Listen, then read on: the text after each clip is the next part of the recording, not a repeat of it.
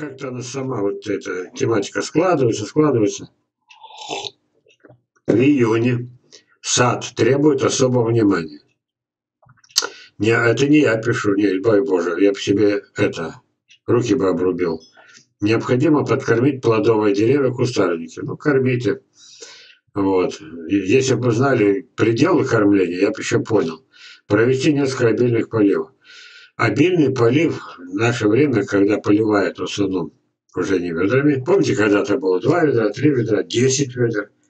Да, десять ведер. Это. Но это всего лишь 100 литров. Ладно. Но когда берут насос, включают его, кидают шланг под дерево и ушел и забыл. Полил обильно.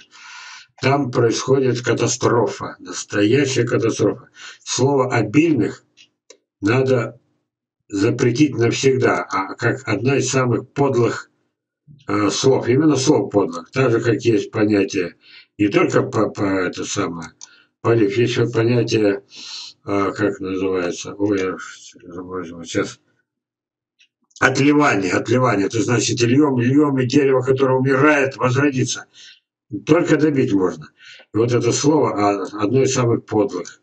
Я говорю, мне нет времени, меня бы кто бы взял на зарплату, я бы тогда сел бы, нормально бы составил этот самый кунсткамеру, чтобы уже навсегда вбить голову детям, школьникам, студентам, вот, чтобы вот это никому в голову не пришло.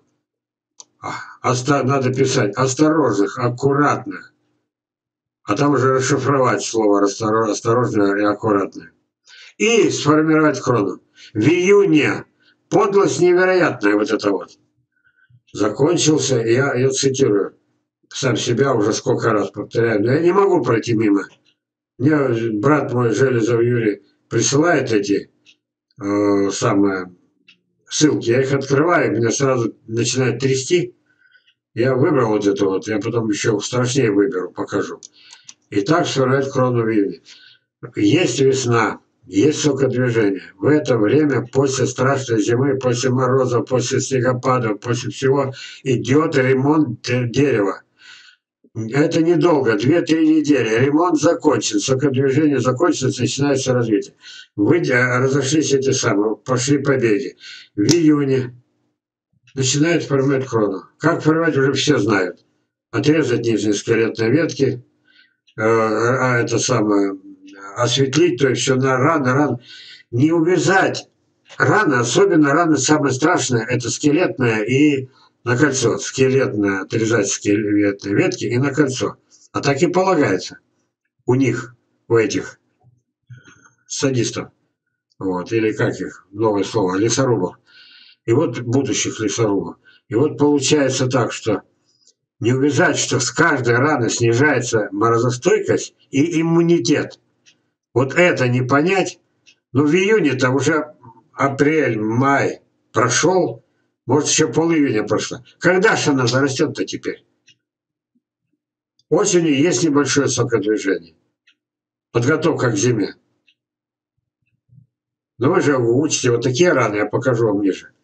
Вот это вот подлезшее, вот, вот просто так, надо, чтобы статья была, надо, чтобы это, э, лайки были и прочее пакость. Ой, поздняя весна, постойте возле дерева, это я пришел. Раны не лечатся, те самые волшки. И что удивительно, каждый раз отрезает ветки, появляются волчки. Почему? Потому что надо обязательно эту рану затянуть. Передо мной сотни, перед моими глазами сотни, тысячи уже фотографии, уже все. Соседи уничтожали сады, я махнул рукой, они со мной не считаются. Я хожу, фотографирую, матерюсь, все.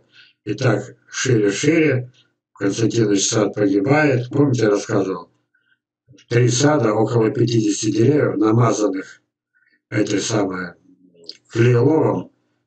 То, что против тараканов, какая-то подлая вещь, как подлый человек научил штамбы мазать. Там было написано или прямо на крону.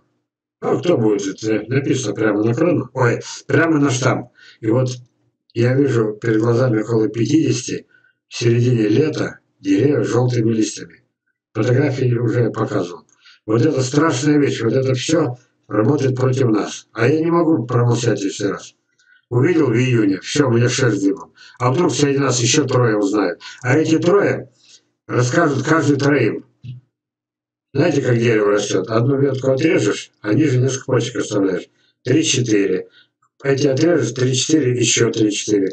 И так мы делаем дерево, э, пусть уже искалеченным, но мы его делаем маточным. Мы развиваем по все стороны свои материалы, то есть расходятся. Дерево погибло, а у него уже сотни детей. За счет вот этого вот, с одного побега вот так, поняли? Так и тут. Один рассказал троим, трое девятерым, девять, двадцать семь.